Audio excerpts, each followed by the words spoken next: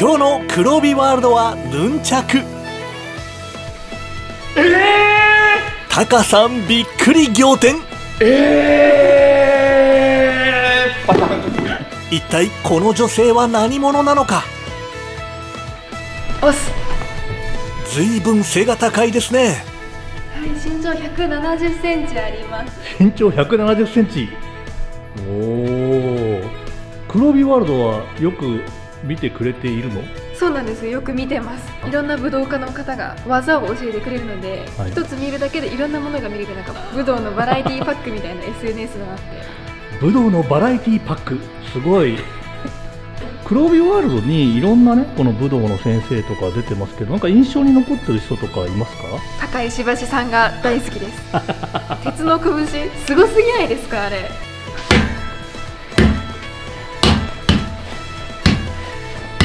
高石橋さんが大好きな彼女の正体は？ヌンチャクがめちゃくちゃうまい女子として SNS で有名な安井みなみさん。実は黒帯ワールドの西監督が制作した映画 KG 空手ガールに子役として出演していたのです。その時の役名が紅夏樹中達也先生演じる父親から紅の構えを授けられていました。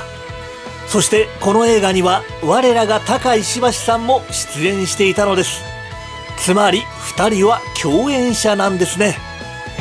そこで思いついたのがドッキリ企画。高石橋さんにヌンチャク女子を合わせたら紅夏樹だと気づくのか。タカさんには黒帯ワールドファンの女子にヌンチャクを教えてくださいとお願いしてあります。南さんはヌンチャクできないふりをお願いしますね。さあ黒帯ワールド初ドッキリ企画。おっと何も知らずにタカさんがやってきましたよ。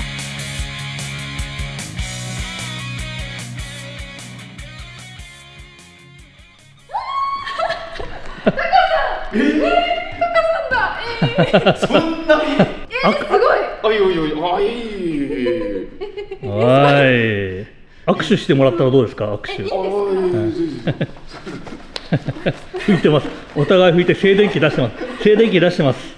ああ硬い。すごい。あ、はじめまして、石橋です。夏希ですえーこちらにいらっしゃるんですね。夏木さんは黒帯ワールドの大ファンなんですよね。ああ、本当ありがとうございます。しかもその黒帯ワールドの中で一番気になってる人は？高石橋さんうっそもうヌンチャクですよこれですよねしかも死亡遊戯の忘れて。え？え、いや、え、ね、え、ね、女性にあれだけど、年齢聞いちゃってよろしいですかね？おいくつです。19歳です死亡遊戯っていうか、まずブルース・リーを知っている。そして、この黄色いヌンチャクをご覧になって。死亡遊戯のヌンチャクという、えお父様がブルース・リーお好きだとか、そういう。そうです。あ、きっかけお父さんきっかけで。いいお父さんだ。でそれでちょっと見てみたら私のおじいちゃんにそっくりだったんですよ。誰が？ブルース・リー。そうちょっとかっそっくりで。お。そこからなんかだんだん気になってきちゃってで見てたらかっこいいと思って。蹴りが軽快だししかも軽快で速いのにしっかり打撃が強い。もうそれが好きでへえ語れますね。ワールドブルース・リークラシック見に行きました。いやいやな何？どうしたの？おじいさん。喜ん俺ですら見に行ってないのに。なんで行かねえんだよ。いや時間がないしちょっといろいろと。トコさんのおすすめのブルース・リー映画といえば？僕はもうとにかく燃えドラゴンですよ何つったっけ？い本当いや奇特な方ですねいやいやいやいやいやいやいやタカさんがヌンチャクを持ってきてくれたので、はいヌンチャクを習ってみるというのは、いいんですか？えつうかもうできちゃったりするんじゃないの？どうなんですか？でも持ってるんですよ。ほら。持ってる。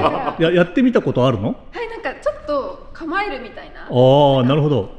えちょっとまずのああります。のノーマルえもう持ってきてるの、持ってえちょっとえマイヌンチャク？あ中身がそうえあああれですよやっぱり燃えよドラゴン好きな人はねあのやっぱまあこんなこと言っちゃいけないけどこここっちのがこれが好きな人とあのこの鎖でつながってないとやっぱりヌンチャクじゃないよっていうねでまあ2種類いるんですよ。なるほど。で僕なんかは基本的にはあのやっぱりそうあのほらあの怒りの鉄拳とドラゴンの道とあと燃えよドラゴンで鎖タタイプだからやっぱりヌンチャクは鎖だよねっていう。怒りの鉄拳のブルース・リーはめちゃめちゃビジュアルがいいんですよ。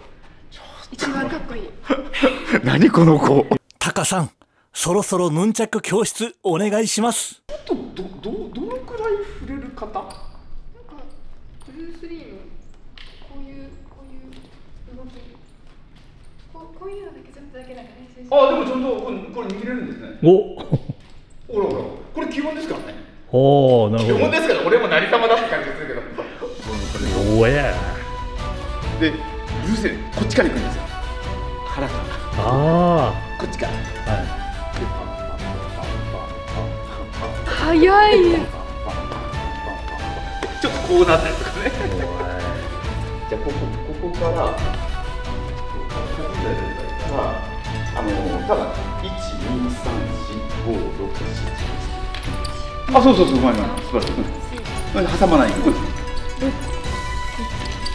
ででできたらできたらなんだけどこの鎖がやっちゃうと鎖鎖いっちゃうんでこここを当てるようにいいんですよ。ここ紐をやっちゃうと紐でこっちまでいっちゃうんで、このなるほど。パンパンパンパンパンパンそうそうそうで五六一回あそうそうそうそうそう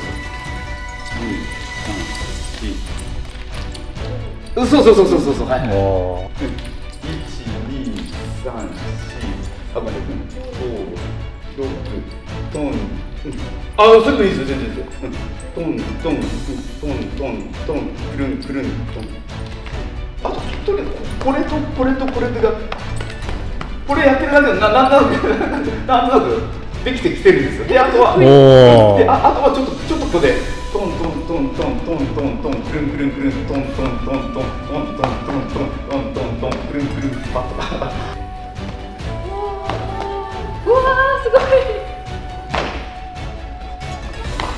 はいけね。タンタンタンとうわうわー。ちょっと素晴らしいあどうですか夏木さん。ーブンブン音すごいですよ。夏木さんの気分も高まってきたんじゃないですかこれ。高まってきました。高まってます高まってます、えードンツインビーそうします。そうします。まあまあちょっとなんかおさらいしながらやってみたら。はいはいお願いします。はいどうぞ。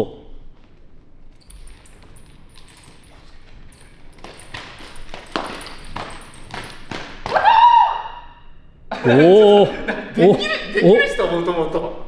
え？できてる人なの？俺なんか俺教えてないこといっぱいやったよ今。嘘。ちょっと。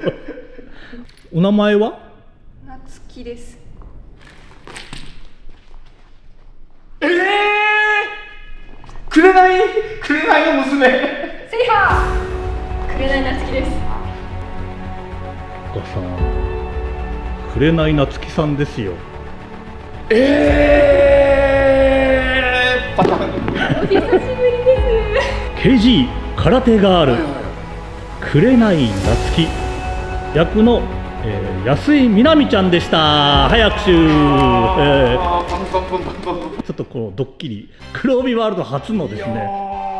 でもちょっとえー、ああの時おいくつだったんですかね？あの時出演した時って。6歳とか7歳そりゃ可愛いわな。今はねなんと身長1 7 0センチの19歳のタレントさんになったと。大きくなりました。いやー。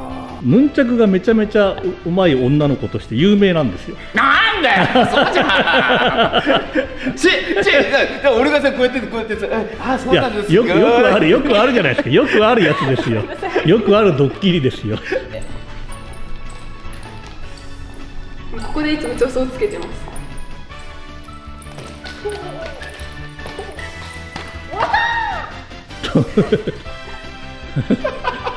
なんか絶句しない絶句。いやー。今はどういうふうな活動をされて武士道を発信していてぶ武士道？武士道精神を。それこそ鍛錬とかが大好きなの。ちょちょっとあそうなの？そうなんです。あそれでこれも好きなのね。なんという女子？もうなんか日本人はやっぱり流されやすいというかそういうところがあるのでどうしても毎日自分で決まったことを鍛錬できるっていう人が自分を信じる力につながるなって思って日本全体がもう鍛錬の塊になって いい国になるなって思って。でも安井みなみさんは、はい。実際武道はなんかやらやったことはあるんですか？最初にテコンドーを始めてそこテコンドーがそれこそあれです。来る KG の時に。やああ言ってましたね。あテコンドー習ってるって言ってましたね。でその KG きっかけで空手を始めましてそこから中学校入って剣道を始めてあで古武術天心流標法に行ってありがたいことですよ。こういう若いねお嬢さんが。ねその日本のその武術武道。それと、はい。そして何よりもブルース・リーをねこう愛してくださってるっていうのは、はい。嬉しいな。いやあ私もあの長年空をねあのやってるんだけれどもいや今日ほどあのああのびっくりしたことはねちょっとなかったですね。あのこのこのお嬢さんがお嬢さんがですよ。あのぬヌンチャクヌンチャクをあのまあできできできないので私がこう教えに来たと。そこがあの私以にこううまくできてたというのはねこれはあの私はちょっとあの雷に頭を打たれたようなショックでしたよ。よし。おし。ありがとうございました。ありがとうございました。最近の活動なんかはい告知とかですね、最近の今せっかく黒帯ワールドに出たので言っておきたいこととかありますか？2024年の1月22日にミス日本コンテスト本戦が行われます。私はファイナリストとして出場しておりますのでぜひ応援よろしくお願いいたします。紅なつきが、ね、そそんなそんなお嬢さんにちゃんと成長していたっていう。いや本当ですよ、ねは嬉しい。楽しかったですね、いいや楽しんでる。びっくりした、はい。本当に。えー、安井みなみちゃん。はい楽しかったですね。でも楽しかったです。あのタカさん、タカさん、ただ黒帯ワールドファンだということとタカさんファンってのは本当ですか？いやありがたいことでございました。まあ、なぜタカさんファンかっていうと同じ映画でね共演した仲間だからですよ。そんなことをおっしゃってくださるなんてちょっとでもあの映画に出させてくれた西さんですからね本当ありがとうございます本当に。おー。で最後はオスじゃなくてせーの。制覇あーいいですね。素晴らしいはいありがとうございました。ああそうそうそう。撮影してる時とか全然鉄の拳とか知らなかったので。